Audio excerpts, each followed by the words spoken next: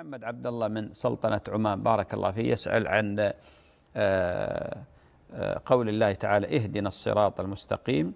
وأيضا آه، يقول لمن تكون النية في صيغة الجمع اهدنا؟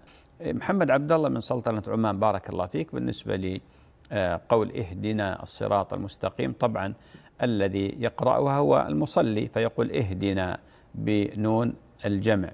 وبعض العلماء قالوا بأن كل عضو من أعضاء الإنسان يحتاج إلى هداية خاصة وهذا ضعيف.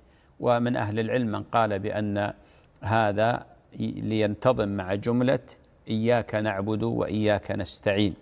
وهو أدب مع الله عز وجل أن يسأل العبد ربه جل وعلا بهذه بنون الجمع فيقول اهدنا الصراط لأن لو لاحظت أن الدعاء إذا كان اهدني الصراط المستقيم لوجدته أقل من حيث التأدب مع الله سبحانه وتعالى. والإنسان إذا أراد أن يتحدث عن نفسه يتحدث بالمفرد.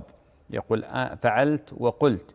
أما إذا جاء يدعو بين يدي الله فتعظيما لله عز وجل يأتي بهذه آه، هذا الأسلوب. اهدنا الصراط المستقيم.